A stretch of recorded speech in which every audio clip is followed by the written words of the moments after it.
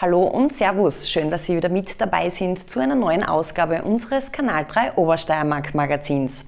Ich darf Sie in dieser Woche durch das Programm begleiten und was es alles Neues gibt, das zeigen wir Ihnen wie gewohnt in unserer Themenübersicht. Wir waren für Sie beim Obdacher Marktfest unterwegs, waren bei der White Party im Schwimmbad Knittelfeld, haben für Sie das Familienfest im Zeltweg besucht und haben im Interview der Woche mit Romana und Mario über das Benefizfestival Gänsehaut statt Gänsemarsch geplaudert. In Obdach fand kürzlich im Rahmen des Aufzwirbelns das allseits beliebte Marktfest statt. Was es dort für die Besucher alles zu sehen gab, das haben wir für Sie im nächsten Bericht zusammengefasst.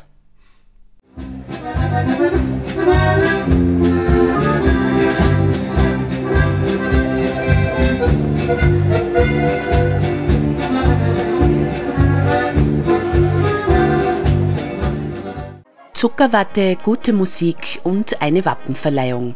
All das und noch vieles mehr gab es vergangenes Wochenende beim Obdacher Marktfest zu essen, zu hören und zu sehen.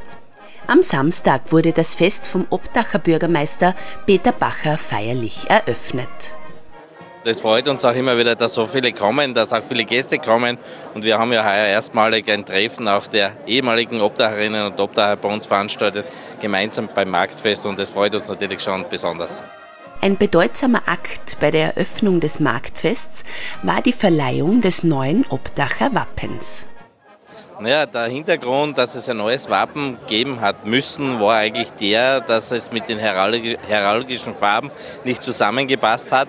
Und da sind wir eigentlich erst nach 500, 600 Jahren draufgekommen. Und bei der Fusion hat sich das jetzt ergeben und das hat man festgestellt und darum haben wir das machen müssen. Das Neue ist wieder wunderschön geworden. Äh, es hat sich eine Farbe verändert beim Turm, die war früher rot, ist jetzt in Gold. Und, aber es passt, glaube ich, trotzdem. Es ist sehr schön geworden. Verliehen wurde das Wappen von Landesrat Johann Seitinger. Die Heraldiker haben hier eine sehr, sehr gute Arbeit geleistet äh, und ich glaube, dieses Wappen passt ganz gut auch äh, hier zu dieser schönen Marktgemeinde Obdach, weil es genau das aussagt, was die Gemeinde seit vielen Jahrhunderten eigentlich lebt, nämlich Handel, große Gesellschaft, tüchtige Vereine, Zusammenhalt. Alles ist eigentlich hier in diesem Wappen verpackt. Kann nur gratulieren. Im Zentrum der Eröffnung des Marktfests stand zudem die Sportlerehrung der zahlreichen herausragenden Obdacher Athletinnen und Athleten. Beim Fest mit dabei war natürlich die Zirbenkönigin samt Zirbel, befindet sich Obdach doch mitten im Herzen des Zirbenlandes. Das Obdacher Marktfest war dank ausgelassener Stimmung und vielen tollen Programmpunkten eine gelungene Veranstaltung für Groß und Klein.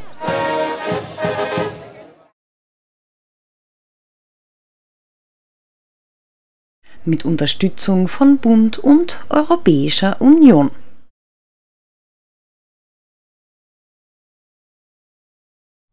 In Knittelfeld wurde kürzlich zur White Night geladen. Die Location dafür war das Knittelfelder Schwimmbad, feiert es heuer doch seinen 50-jährigen Geburtstag. Welche Highlights auf die Gäste warteten, das haben wir uns für Sie vor Ort angesehen.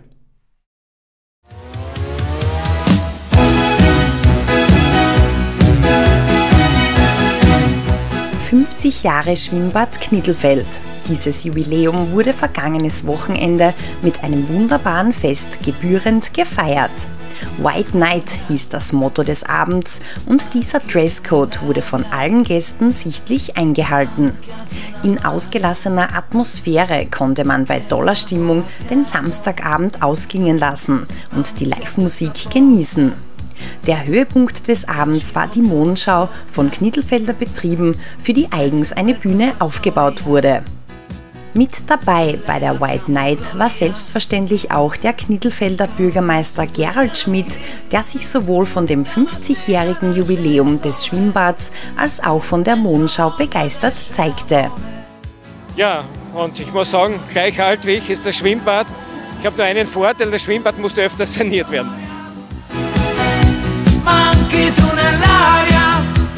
Wir sind sehr, sehr stolz. Äh, Handel, Wirtschaft, Tourismus, Stadtgemeinde. Wir sind ein Team und dann sieht man, was geht. Und wir haben ein tolles Publikum gehabt, äh, eine stimmungsvolle Galernacht. Ich glaube, es wurde gebührend gefeiert und ja, das ist Knittelfeld neu.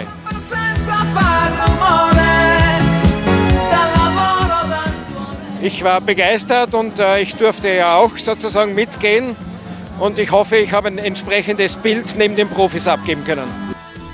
Gekrönt wurde der exklusive Abend mit einem romantischen Heiratsantrag, auf welchen mit Ja geantwortet wurde. Das Jubiläumsfest des Knittelfelder Schwimmbads unter dem Motto White Night konnte alle Besucher sichtlich überzeugen.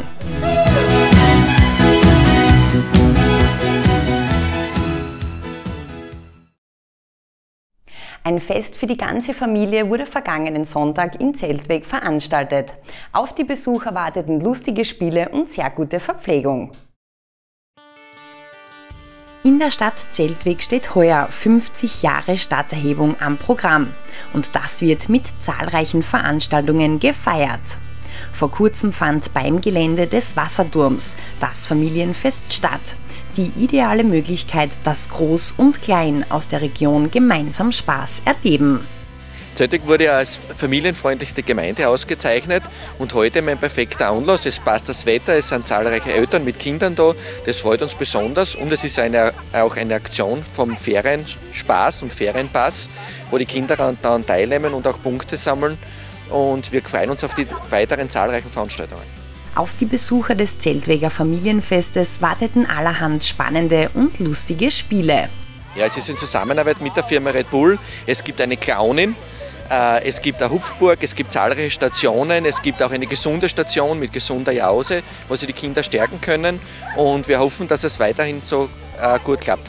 Die Freude über das gelungene Familienfest war auch von Seiten der Stadtgemeinde sehr groß. Wir sind total stolz drauf von der Stadtgemeinde Zeltweg, dass wirklich alle Familien gekommen sind.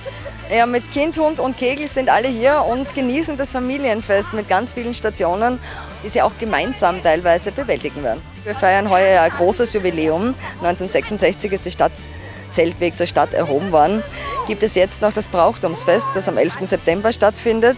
Die Tennis-Stadtmeisterschaft, auch was Sportliches mit über 140 Teilnehmern, die sich hier auch matchen. Da ist die Siegerehrung am 10. September und dann das Fest der Vereine am 24. September.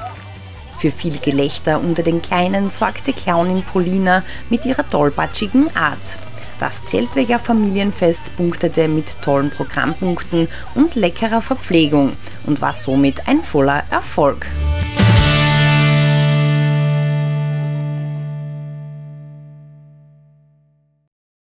Christina Hornbacher aus Leoben bringt Umweltschutz, Upcycling und Kreativität unter ein Dach. Ihr Zuhause ist die Werkstätte ihrer kleinen Accessories und die haben wir für Sie besucht. Altes Papier landet ja eigentlich immer im Container, aber nicht bei Christine Hornbacher, denn sie sammelt das, was für andere in den Papiermüll kommt und zaubert daraus ihre unikaten Accessories. Die 26-jährige Leonerin hat somit nicht nur ein kreatives Hobby gefunden, denn das Thema Umweltschutz liegt ihr schon ganz lange ganz besonders am Herzen. Damals habe ich eben den Girls Day veranstalten dürfen, also mithelfen dürfen und äh, ja, was macht man mit 14-jährigen Mädels? Ihnen erklären, wie man am besten Müll trennt, das ist wahrscheinlich eher nicht so interessant. Und damals war genau das im Hype mit den Espresso-Kapseln. Und dann habe ich mir gedacht, hey, Schmuck aus Müll, das ist ja eigentlich eine voll gute Idee. Und das Problem war aber, dass wir eine Bohnenmaschine daheim gehabt haben und damit keine Espresso-Kapseln. Und dann habe ich mir gedacht, ja, ich habe aber eigentlich viel, viel Zeitschriften daheim und vielleicht kann man mit denen ja irgendwas machen. Und so ist die Idee eigentlich entstanden. Christinas Accessories sind neuwertige Schmuckstücke, die aus Upcycling-Produkten entstehen. Jedes einzelne Accessoire ist somit ein Unikat und hat auch für die Künstlerin eine große Bedeutung. Ich möchte auf jeden Fall noch ganz viele Accessories machen. Äh, mein Ziel ist ja immer, neue Sachen auszuprobieren und auch zu schauen, was man mit Papier eigentlich alles erreichen kann und machen kann und umsetzen kann. Und ähm, ja, für mich freut es halt immer, wenn sie Kunden über die Accessories also freuen. Und ähm, ja, mein Ziel ist auch eben, dass ich immer mehr Leute frei damit mache. Christina hat in ihrer Werkstatt zu Hause lange mit Altpapier geübt und ausprobiert, bis sie ihre perfekten Techniken entwickelte. Hier bringt sie Recycling und Upcycling sowie Kreativität unter ein Dach. Und am liebsten ist es ihr, wenn sie die Wünsche ihrer Kunden erfüllen kann. Mittlerweile stellt sie ihren Schmuck auch auf Facebook aus. Und sonst kann man Christina und ihre Accessories auch immer gerne am Leobner Kunsthandwerksmarkt besuchen.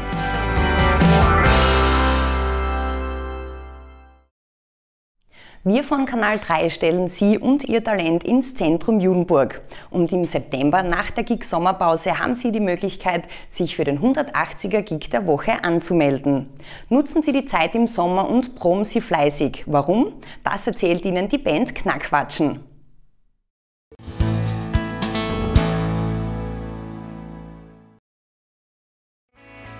180 Sekunden, eine Bühne, dein Talent. Kanal 3 sucht euch. Wir sind Knackwatschen, liebe Proberaumsitzer, kommt außer aus euren Proberäumen, stellt euch auf die Bühne, ihr habt eine gute Chance, dass ihr mitmacht, dass ihr ein bisschen bekannter werdet. Das wird, glaube ich, nicht so schlecht. Meldet euch beim Kanal 3 180er Gig. Viel Spaß, viel Glück. Infos gibt's unter gig.kanal3.tv.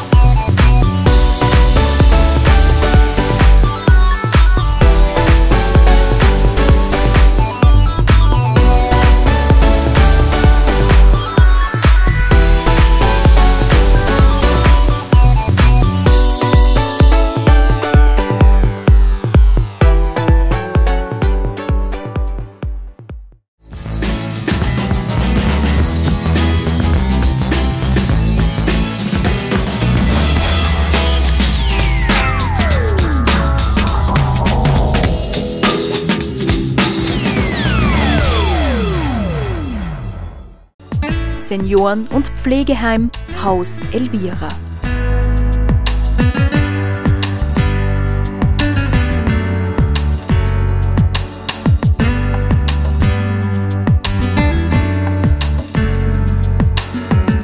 Wir pflegen mit Kompetenz, Verstand und Herz. Senioren- und Pflegeheim Haus Elvira.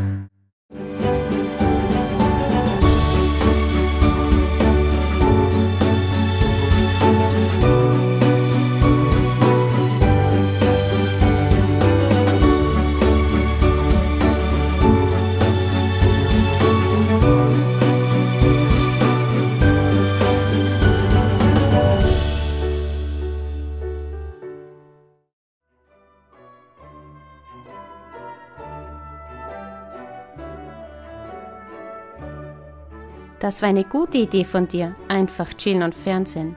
Bei mir daheim ist der Fernseher finster. Du, das analoge Fernsehen wird in ganz Österreich abgeschaltet. Mein digitales Fernsehen haben übrigens die Jungs von den Stadtwerken Judenburg installiert. 24 Stunden. Für Sie da.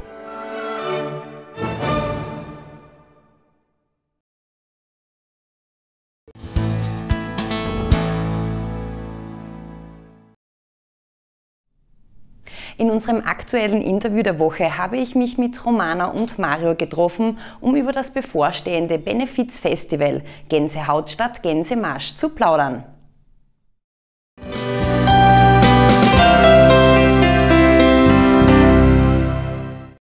Für das Interview der Woche sind wir heute in der Simultania Liechtenstein in Junburg. Und mir gegenüber sitzen Romana und Mario.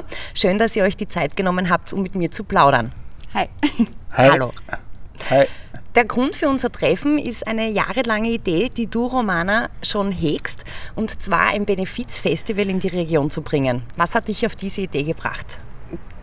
Jahrelange Pflege, also Arbeit in der Pflege und viele Bekannte mit einem Handicap. Ja. Das heißt, das war auch der Grund, ähm, der Kontakt zu diesen Menschen, dass du sagst, ich will eine Veranstaltung für sie organisieren? Mhm. Genau, ja. Okay, die Idee, jetzt müssen wir ein bisschen genauer darauf zu sprechen kommen. Ähm, du hast jahrelang Zeit gehabt, du hast sie reifen lassen können, jetzt ist alles fix, das Pro Projekt eigentlich steht und am 20. August wird es über die Bühne gehen. Wo und was darf uns dort erwarten? Äh, es erwarten uns sechs Musiker, ähm, ein Redebeitrag von Mario wie es Mhm. ihm geht mit seinem Handicap, wie es ihm mit den Blicken von uns gesunden Menschen geht. Und das Ziel von der Veranstaltung sind ein paar Euros für Mario für seine neuen E-Rolle. Okay, das heißt natürlich eine Benefizveranstaltung. Der Reinerlös, Mario, kommt dir zugute. Ja. Wie ist das für dich? Was haltest du von Romanas Idee? Ich finde ich find das ganz genial. Ich finde das spitze, was macht. Und wie ist das Gefühl für dich, weil du ja auch profitieren kannst davon und eine neue E-Rolle bekommst? Wie ist, wie ist das Ge- Gefühl für dich? Ganz toll, weil ich kann, ich kann au, ausfahren, wann ich, wann ich brauche nicht mehr auf die Pre Betreuer fragen, wann sie Zeit haben für mich. Ich kann einfach rausfahren. Ich, ich fahre zum Beispiel alleine in der Stadt auf und ja, es passiert mir nichts. Das heißt für dich ganz viel Unabhängigkeit, wenn du dann einen neuen E-Rolle hast. Ja, genau. Das heißt für mich. Und ich freue mich eigentlich, wenn ich ganz allein fahren darf. Reden wir aber noch einmal genauer über das Festival. Der Titel des Festivals ist Gänsehaut statt Gänsemarsch. Wo findet es jetzt statt und was passiert dort? Okay, in der Grünen Lagune um 16 Uhr. Es sind eben, wie gesagt, sechs verschiedene Musiker. Zum Schluss spielt ein DJ. Ja, es wird einen Redebeitrag von Mario geben, wie es ihm geht mit seinem Handicap, was er für ein Handicap hat, wo seine Wünsche, seine Ziele sind. Einfach einmal Zusammenhalt. Und welche Bands sind es? Ja, Mais Moody, ähm, Stefan Wedam, der Flo der Gruber, ähm, Dave Slide, Ditch Triggers. Ja. Das heißt, ein bunt gemischtes Programm, da ist wirklich für jeden etwas dabei. Mario, schaust du selbst auch zum Festival? Also du sprichst natürlich auf der Bühne. Auf was freust du dich dort besonders? Äh, ja, ich bin ganz neugierig, neugierig wie das abläuft. Und ich, ich habe noch nie vor so vielen Leuten geredet. Und bin ganz schön gespannt, wie, was da ab, wie es abläuft. Aber ich bin mir sicher, du wirst das ganz toll machen. Ich, ho ich hoffe es, ja. Und ähm, noch einmal zum Eintritt oder zu den Karten, wie funktioniert das? Wo kann man frei. sich darüber informieren? Freiwillige Spende. Und da wird es eine Box geben, da kann jeder reinschmeißen, so viel er will und wie er will. Und das kommt dann dem Mario zugute. Also auch der Eintritt. Ja, genau. Der, der Reinerlös ähm, kommt dem Mario zugute.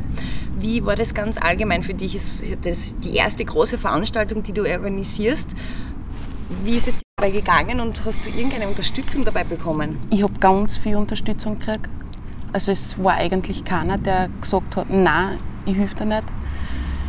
Es war schön, weil man dort schon gespürt hat, hey, es gibt doch noch einen Zusammenhalt. War ja schon stressig, freilich, aber im Großen und Ganzen voll schein, eine schöne Erfahrung. Ja. Und von den Bands und DJs jetzt, ähm, war es leichter, sie dafür zu motivieren, eben weil es ein guter Zweck ist? Oder? Ja, ja, auf jeden Fall. Ja. Wie, wie waren die Rückmeldungen der Bands und Acts? Was hätten Sie von deiner Idee? ja, die waren alle total begeistert. Da war auch kein einziger dabei, der gesagt hat, so, nein, also spielen auch alle ohne Gage und freuen sich schon. Extrem, mehr als ich sogar. ja. Gehen wir jetzt einmal davon aus, dass das Festival Gänsehaut statt Gänsemarsch ein voller Erfolg wird. Wird es dann eine Wiederholung geben? Von mir nicht. Also es wird vielleicht jemand anders machen, aber ich nicht mehr. Okay, das heißt, für dich soll das eine einmalige Geschichte Ja. sein. Ja. Gut. Ähm, Ernsthaft? ja. ja, aber vielleicht, Mario, findest du jemand anderen, der dann das nächste Mal ein Festival organisiert? Ja, ich, für, ja, ich frage. Da lässt sich bestimmt jemand Ja. finden. Wir nutzen natürlich das Interview der Woche auch immer gern dafür, meine Interviewpartner und Partnerinnen etwas besser kennenzulernen. Was macht ihr denn sonst so? Wie verbringt ihr eure Zeit, wenn ihr nicht dabei seid, ein Festival zu organisieren? ja, ich bin alleinerziehende Mama, gehe ab und zu reiten, wenn ich Zeit habe. und verbringe halt viel Zeit mit der Kleinen. Und Mario, wie verbringst du gern deine Zeit? Ich mit Freunden treffen, Computern und ja, lang aufbleiben. Wir sind jetzt am Ende unseres Interviews angelangt und ich würde euch jetzt noch bitten, mit mir den Kanal 3 Wortrap durchzuführen. Mario würde sagen, wir fangen an. Ich sage dir ein Wort und du das erste, was dir dazu einfällt. Okay. Morgens. Stehe ich, steh ich auf. Zum Frühstück. Äh, Käsebrot. Lieblingsgetränk. Äh, ähm, Kaffee. Lieblingsessen. Pasta Schutter. Glück. Glück, ähm, unterwegs zu sein. Zukunft. Zukunft hoffentlich mit meinem E-Rolli. Das hoffe ich natürlich auch. Jetzt machen wir noch mit der Romana weiter. Ja. Romana, morgens. Die Kleine. Glück. Meine Kleine. Familie, Gesundheit. Liebe. Schön. Lieblingsbeschäftigung. Die Kleine. Zukunft? Äh, ja, meine Zukunft, ja, dass ich finanziell gut unterwegs bin, die Kleine gesund ist, dass ich gesund bin. Alle, die ich lieb habe. ja. Kein Ja dazu? Ja, Fraldi. Danke. Ja gut, ihr zwei, ich bedanke mich für das total lustige Interview. Für die Zukunft wünsche ich euch alles Gute und natürlich auch für das Festival, dass es ein voller Erfolg wird und Danke. du natürlich davon einen E-Rolli bekommen Okay, kannst. ja, Hat danke. mich gefreut. Ja, uns auch, danke. Ja, mit uns auch.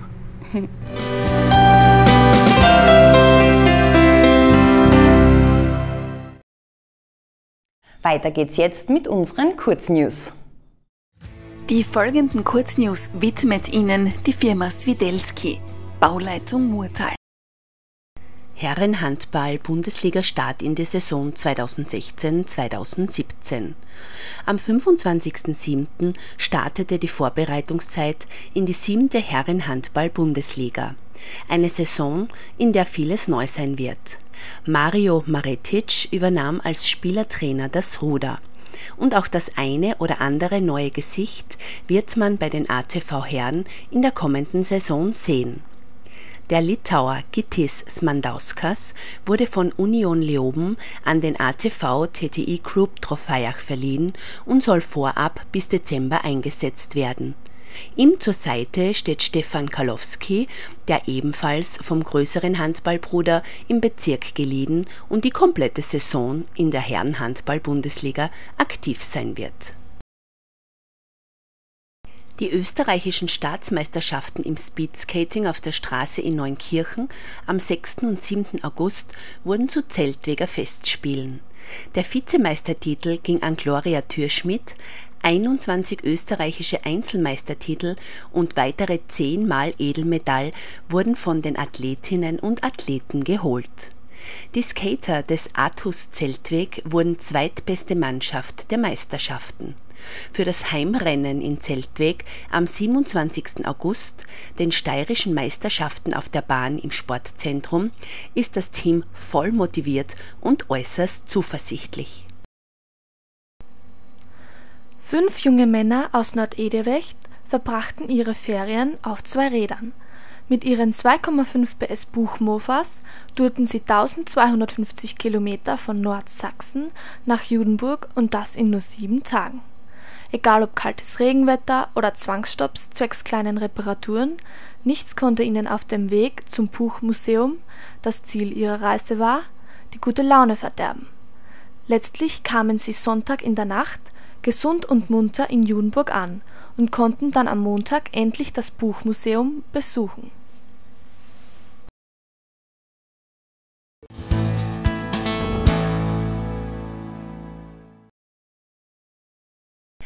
Anarchisch, verrückt, brillant.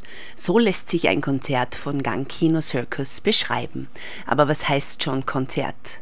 Ein Auftritt der für Musiker ist weniger ein Konzert als vielmehr ein weltmusikalisches Schauspiel, ein kabarettistisches Spektakel, eine subkulturelle Sensation. Und das können Sie im Rahmen des Spielberger Musikfestivals 2016 im Hotel Hubertushof in Zeltweg genießen. Am Mittwoch, dem 24. August, geben die vier Musiker ihr Gastspiel. Karten sind im Hotel Hubertushof sowie an der Abendkasse vor Ort erhältlich. Mehr Infos unter www.hotelhubertushof.at. Das war unsere aktuelle Ausgabe von Kanal 3 Obersteiermark. Sie haben eine Sendung verpasst, dann besuchen Sie uns einfach auf www.kanal3.tv. Das aktuelle Programm finden Sie in der Murtaler Zeitung oder den Obersteirischen Nachrichten. Im Namen des gesamten Kanal 3 Teams bedanke ich mich fürs Zusehen und wir freuen uns natürlich, wenn Sie beim nächsten Mal wieder mit dabei sind.